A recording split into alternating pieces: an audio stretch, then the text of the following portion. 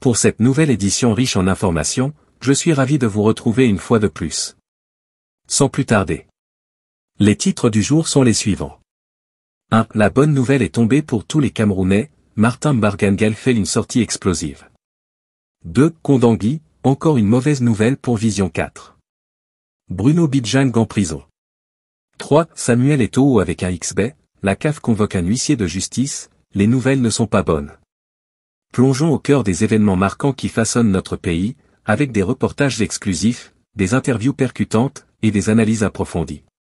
Que vous soyez intéressé par la politique, l'économie, la culture ou les sports, Cameroun Info est là pour vous fournir des informations vérifiées et objectives, dans le respect des plus hautes normes journalistiques. Avant de commencer, je vous invite à vous abonner à notre chaîne en cliquant sur le bouton S'abonner juste en dessous de cette vidéo. N'oubliez pas d'activer la cloche de notification pour être alerté immédiatement dès que nous publions une nouvelle vidéo. Ainsi, vous ne manquerez aucune de nos mises à jour cruciales. Restez avec nous jusqu'à la fin de cette vidéo. Maintenant, sans plus attendre, entrons dans le vif du sujet et découvrons ensemble les nouvelles qui font l'actualité au Cameroun. La bonne nouvelle est tombée pour tous les Camerounais, Martin Bargangel fait une sortie explosive. Nous avons une nouvelle exceptionnelle à partager avec vous, une nouvelle qui promet de transformer la vie des Camerounais de manière significative. Segment 1, annonce officielle. Le 19 juin 2024, une date qui restera gravée dans les mémoires. Lors de la cérémonie de pose de la première pierre du centre multifonctionnel d'identification, Martin Bargangel a fait une déclaration qui va changer la donne pour tous les citoyens du Cameroun. Il a annoncé que d'ici la fin de l'année 2024, l'obtention de divers documents d'identification, tels que la carte nationale d'identité, la carte de résident, la carte de réfugié, et même la carte d'invalidité, sera possible en seulement 48 heures. Oui, vous avez bien entendu, en seulement 48 heures. Segment 2, Importance d'un système d'identification fiable. Mais pourquoi est-ce si important? Un système d'identification fiable et efficace est essentiel pour plusieurs raisons. Tout d'abord, il renforce la sécurité. Avoir des documents d'identification authentiques et sécurisés permet de mieux protéger les citoyens et de prévenir les fraudes et les usurpations d'identité. Ensuite, cela améliore la qualité de vie globale des citoyens. Pouvoir obtenir rapidement et facilement les documents nécessaires permet un accès plus aisé aux services publics et privés, qu'il s'agisse de l'éducation, de la santé, ou encore des services bancaires. Segment 3, le centre multifonctionnel d'identification. Le centre multifonctionnel d'identification sera équipé de technologies de pointe et suivra les normes internationales les plus strictes pour la production et l'émission des documents. Cela garantira non seulement la sécurité et l'authenticité des documents, mais aussi la protection des informations personnelles des citoyens. Ce centre jouera également un rôle clé dans la promotion de l'unité nationale et de la cohésion sociale. En offrant une plateforme unique pour l'émission de divers documents, il contribuera à réduire la discrimination et la marginalisation basée sur l'identité. Segment 4. Impact positif sur la vie des citoyens. Cet investissement est crucial pour l'avenir du Cameroun. Avec la possibilité d'obtenir des documents d'identification en seulement 48 heures, les Camerounais pourront accéder plus rapidement et facilement aux services essentiels.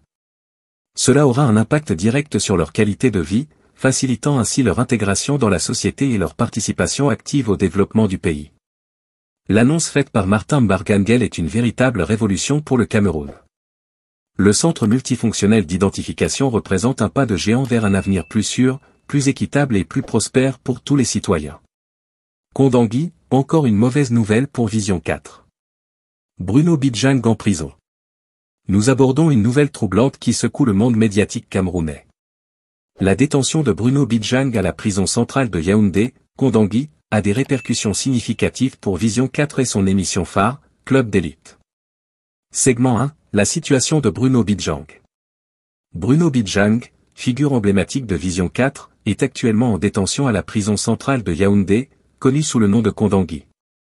Depuis son incarcération, son émission dominicale, Club d'élite, subit une baisse d'audience significative. Ce programme, autrefois leader d'audience, souffre maintenant de l'absence de son animateur principal. Le départ de Cédric Noufel d'Equinox Télévision avait pourtant permis au Club d'élite de se hisser au sommet des classements. Segment 2, la baisse d'audience. Les chiffres parlent d'eux-mêmes. Selon le dernier classement de la plateforme Médiatude, Club d'élite a enregistré 5800 vues, un chiffre largement inférieur aux 15 000 vues de La Vérité en face et aux 7 000 vues de Dimanche avec vous, deux émissions phares des télévisions Equinox. Cette baisse d'audience n'a pas laissé indifférent les observateurs du paysage médiatique camerounais.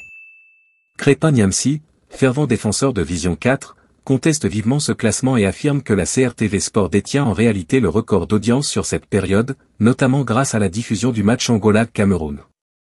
Segment 3, réaction et controverse. Crépin Niamsi n'a pas mâché ses mots.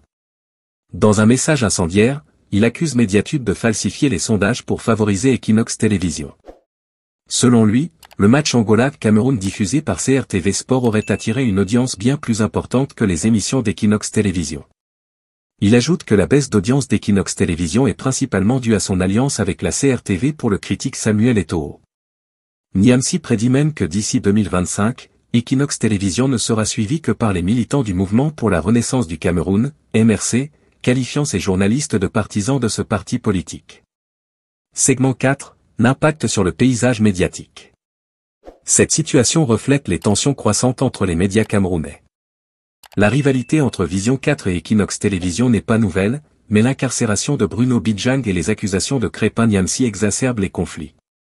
Par ailleurs, d'autres chaînes comme Canal 2 International, Radio Balafon, officiel et STV Cameroun gagnent du terrain et pourraient bientôt devancer Equinox Télévision en termes d'audience. Ce bouleversement pourrait redessiner le paysage médiatique camerounais dans les années à venir. La détention de Bruno Bidjang à Kondangui est un coup dur pour Vision 4 et son émission, Club d'élite. Les contestations autour des classements d'audience montrent à quel point la concurrence est féroce entre les médias camerounais. Cette affaire n'est qu'un épisode de plus dans la bataille pour la suprématie médiatique au Cameroun.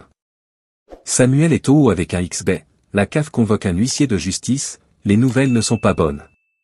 Affaire qui secoue le monde du football camerounais et africain.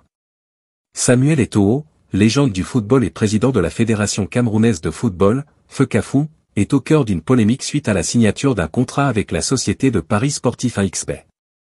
Quelles sont les implications de ce partenariat et quelles conséquences pourrait-il avoir pour Eto'o Segment 1, le contrat avec un XB. Le 26 mai 2023, Samuel Eto'o a signé un contrat de partenariat avec un XB, une société de paris sportif bien connue. Cette annonce a immédiatement suscité des réactions mitigées, notamment en raison du non-renouvellement du contrat de Rigobert Song avec la même entreprise. Eto'o a tenté de justifier ce choix en déclarant « Je suis président de la FECAFU, oui, mais ici, chez un XB, c'est l'image de Samuel Eto'o. » Cependant, cette explication n'a pas suffi à calmer les critiques, notamment en ce qui concerne le respect des règles éthiques de la FIFA. Segment 2, le code éthique de la FIFA. Le code éthique de la FIFA est clair à ce sujet. Selon l'article 27, tout officiel affilié à la FIFA, y compris les présidents de fédération, ne doit pas s'engager, directement ou indirectement, dans des activités de paris ou de jeux d'argent en lien avec le football. L'article précise, les personnes auxquelles s'applique le présent code ne peuvent prendre part de manière directe ou indirecte à des activités de paris, loterie et autres jeux d'argent similaires ou transactions en lien avec des compétitions et matchs de football et ou toute activité associée au football. Cette règle vise à préserver l'intégrité et l'impartialité des compétitions de football. Segment 3, l'enquête de la CAF. Face à ces allégations, la Confédération africaine de football, CAF, a ouvert une enquête pour déterminer si Samuel Eto'o avait enfreint ces règles. L'enquête s'est appuyée sur un constat d'huissier réalisé par Maître Chindou Mekiaj Micheline. Dans son rapport, Maître Micheline indique avoir découvert plusieurs publications sur la page Facebook officielle de Samuel Eto'o promouvant un XB. Ces publications, apparues après la signature du contrat de sponsoring, constituent une preuve potentielle de la violation des règles éthiques de la FIFA. Segment 4, les développements de l'enquête. Maître Chimdou Mekiaj Micheline a été entendu au Caire par les enquêteurs de la CAF. Elle a confirmé la véracité des éléments contenus dans le procès-verbal de constatation, renforçant ainsi les bases légales de l'enquête.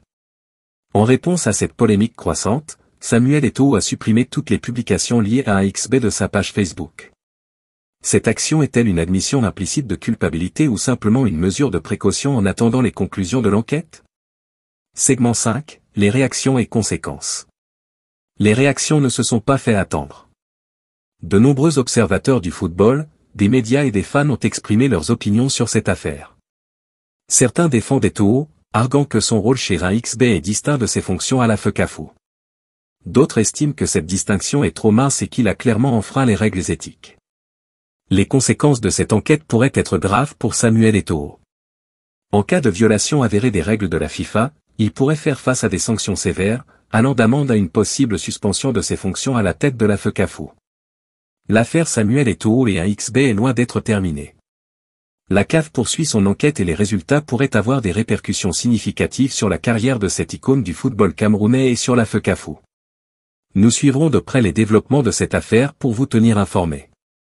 Merci d'avoir suivi cette vidéo sur Cameroun Info. N'oubliez pas de vous abonner à notre chaîne pour ne manquer aucune de nos prochaines vidéos. Laissez-nous vos commentaires et dites-nous ce que vous pensez de cette nouvelle incroyable. À très bientôt pour de nouvelles informations passionnantes.